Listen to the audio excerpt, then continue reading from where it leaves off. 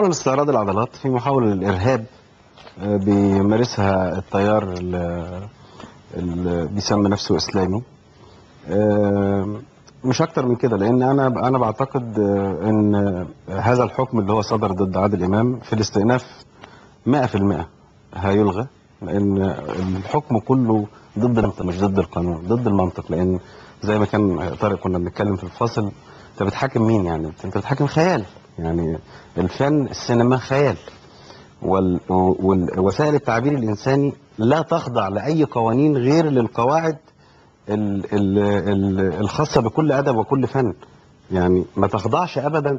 لذلك حتى في كل بلاد العالم القضايا اللي زي دي تبقى لها محاكم خاصة فيها خبراء من. لو كانت ال ال ال ده ده مقطع من من فيلم النوم في العسل أعتقد ومن أبدع الأفلام ال ال في السينما المصرية. يعني هي واحد من أجملها وأعمقها كمان.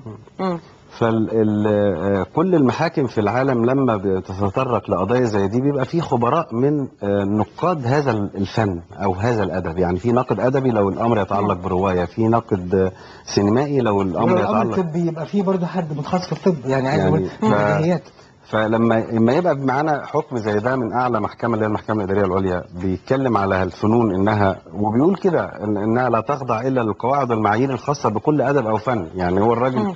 دي المحكمة الإدارية العليا.